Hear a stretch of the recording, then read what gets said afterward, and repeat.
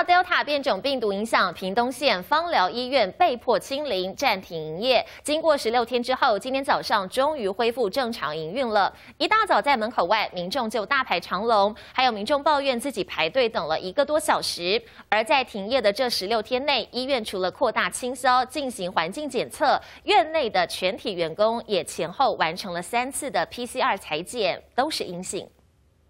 度变种病毒 Delta 影响，屏东方疗医院停业十六天后，从十四号早上八点开始恢复正常营运。一大早门诊入口处，民众就大排长龙。有他有简讯发简讯，就是说今天有门诊的。我觉得应该刚开始应该也也最干净的时候了。医护人员全副武装，做好万全防护，依序指引民众进行体温量测，进入医院。由于回诊的人潮实在太多，有民众抱怨自己在外面排队等了一个多小时。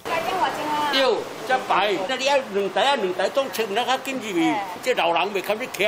当时因为确诊果农和多名染疫者都曾进出放疗医院，医院从上个月二十八号紧急停诊，直到七月十三，这十六天内，医院全体员工一共三百二十七人，前后做了三次 PCR 筛检，都呈现阴性，加上院内没有新增确诊病例，符合服业条件。空间的一个裁剪也都是阴性，包括急诊跟门诊的裁剪，地板啊，或者是桌子啊，或检检查桌啦。那个床啊，哈，全部都裁剪都是阴性。该院已符合恢复常规作业条件，并已于今日，也是七月十四日早上八点营运，提供急门诊服务。